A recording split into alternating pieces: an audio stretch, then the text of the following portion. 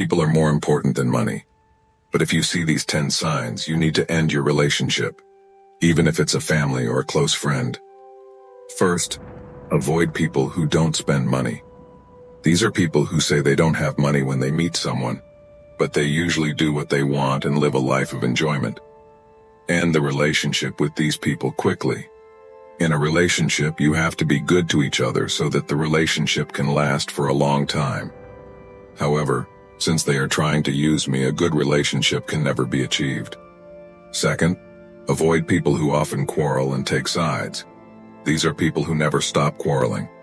They don't just go over things that don't have to quarrel, they also force themselves to take sides after a quarrel with another person, causing trouble for others. Quarrel is never an act of benefit to humans. A wise person never quarrels with others emotionally. People who often quarrel cannot control their emotions and are always busy arguing with others. They rarely admit their mistakes and have very arrogant personalities. Third, avoid people who take others' worries lightly. In this world, heavy worries and light worries do not exist separately. The weight of life is relative, so each person feels the weight of life differently. Despite this fact, there is no need to continue to share worries or joy with friends who always consider their own worries important but others' worries lightly. A person who respects only himself without respecting others is worse than none. Fourth, avoid anyone who enforces your religious or political beliefs. All people cannot be the same. In the end, the relationship between people is to acknowledge each other's differences and gain the value of the relationship among others. Therefore, no matter how good it is for you, you should not force it on others. Do not argue pointlessly with such a person under any circumstances. Wise people do not enter into an argument that tramples on the other person's pride. Fifth, if you feel distressed when you meet a friend, avoid that friend. When you meet a friend, it's fun at first, but the more you meet, the more fun it gets.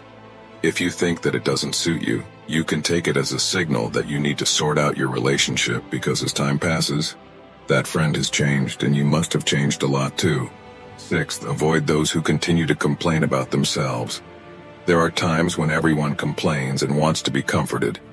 However, these complaints should be appropriate to the situation. But a complaint that does not fit the situation is a person who has no consideration for others. Seventh, avoid people who take promises lightly or break them easily.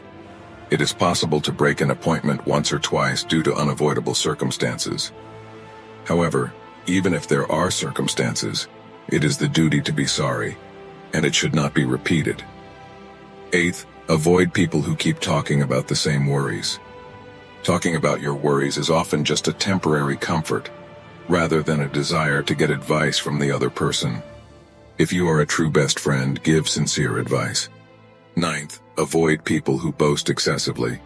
There are people who look down on others as if they are showing off their superiority and only boast about themselves when they meet.